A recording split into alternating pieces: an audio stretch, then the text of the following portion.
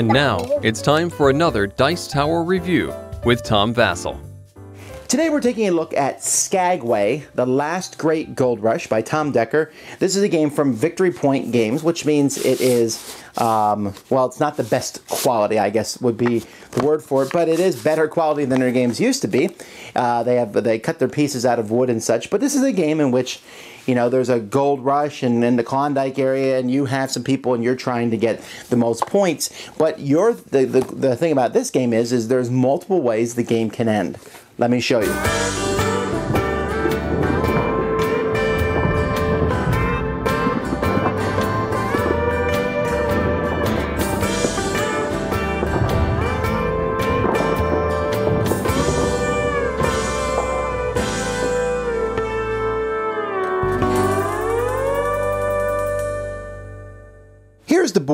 Which is made up of puzzle pieces. This is how uh, Victory Point Games is making their boards nowadays. There actually is a board in the box that you can fold out, but I have no idea why anyone would ever use such a thing when you can have a wooden board that actually lays flat.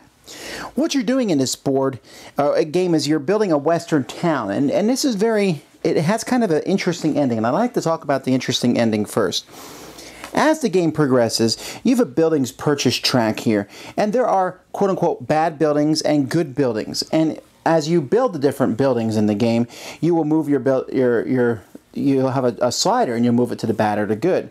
At the end of the game, you'll look at how many of these prestige buildings have been built. Um, some of them are bad, some of them are good, or what have you. And you look at the total on it bad and good of all the players. And bad, if bad has won a day, and then or good has won a day, and then the number of buildings, you have six different possibilities. If that there's a few buildings and the town is bad, it's a ghost town. If there's few uh, towns and the buildings and the town is good, it's a resort. A lot of buildings and the town's good, thriving city or tourist trap. And if you notice here, you get points for owning the railroad and the hotel and the brothel and different things. You get points for those depending on what type of town it is. And then each of the prestige buildings gives you points. And you also get some points slash dollars as the game progresses. And so that's the goal of the game. Now each person starts with uh, a couple of people. Here we have Jim and Ted.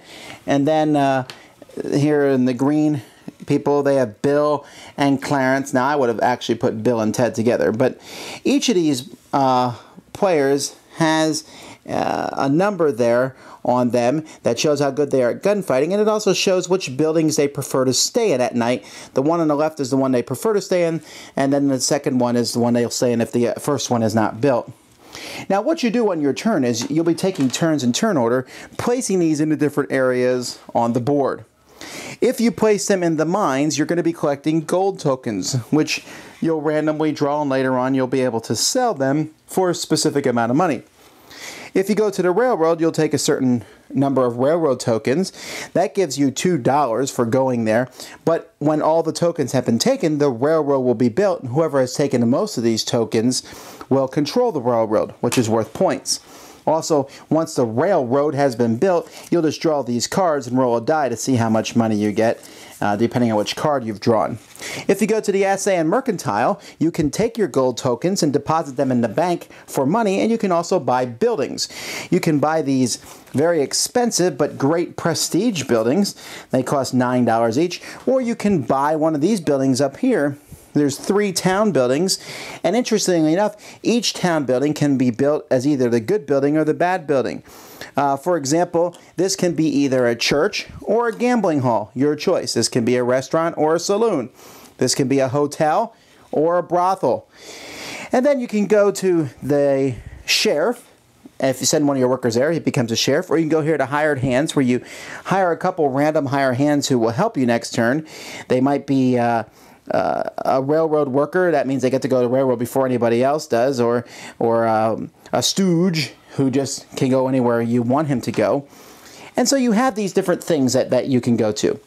Now, once everyone has done, you place all your workers and you resolve the workers and got your money and what have you, then all the workers go to the buildings to sleep that night, and whichever building they go to gets money. So controlling those buildings is a good thing.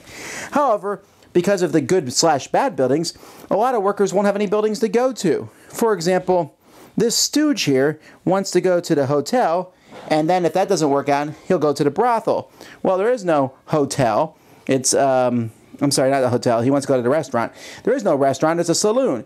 So then he goes to the brothel, but it's a hotel, so he can't go anywhere really, so he goes to the street. So there's a lot of people in the street, and the people who are stuck in the street can shoot each other up, in which case they send someone to the cemetery where they that worker basically loses a turn. I guess their son comes along and works for you later on, who knows. Or they can uh, um, go to the bank and rob the bank because money's put in the bank. And when they rob money from the bank, that will get them points.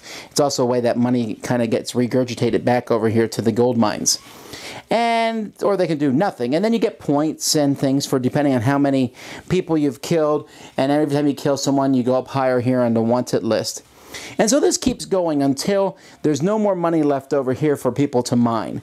Since money will come back as the game goes by, that won't happen immediately, but there comes a point where the money will not come back, and at that point the game is over. And whoever has gotten the most money or the most points wins. And remember, there's a lot of scoring done at the end of the game depending on what type of town it is. And your buildings will score differently. For example, the ranch here is 10 victory points, but it's 18 if there's fewer than 7 prestige buildings in play. This building here, the Fashions of Paris, is worth more points if the town is bad at the end of the game, or but it's only 13 if the town is good. So you have all these different things that you can build. You can just build one for 14 points or try to take a chance on some of the other ones. It's an interesting concept, and that's basically how you play the game. There's a little bit more to it than that, but that's a basic overview. There's a lot of really cool concepts in Skagway. Uh, I, I, I, like the aspect of the six different ways that the game can end. I like the fact that buildings can be switched back and forth. I, I did mention the, the sheriff. Each turn, whoever controls the sheriff can take one building and change it from bad to good or good to bad. And that's very interesting as to how that works. And there's this, you know, you want to buy those buildings. If a, if a lot of people keep going to the hotel, you might want to buy that hotel so you can get the money that comes in as players go there. Um, the it's a worker placement game, and there's uh, you know a lot of worker placements, but this one the workers almost felt unique, which is something unusual in a worker placement game. Workers usually all are the same, and they're fairly generic as you put them out. The theme I think comes through: robbing the bank, uh, searching for gold, but two small problems with the game. One is the pieces are too small, really. Um, a little bit bigger uh, pieces might have helped at the game. You're constantly squinting to see what the icons are. That's a minor thing. A, a bigger thing is the game feels a little clunky. It doesn't flow as smoothly as it should. You're saying, okay, I'm going to do this, especially with the movement of the gold. It just, the, the rules were written okay, but it's just a little hard to grok how the gold is coming from the mine to the people who then put it in the bank where it is stolen and or put back in the mine, how exactly that works. Um, as you put out the different workers um, and you send the workers back and then there's fighting, it, it, it, it it's good. It, there's great ideas and it's very thematic. It just, I, I don't know how to explain it. It's more of a feel than anything else, It just didn't flow smoothly. But it is innovative, it is unique, it is thematic, and it works well. I'm, I'm giving this one a, a good grade.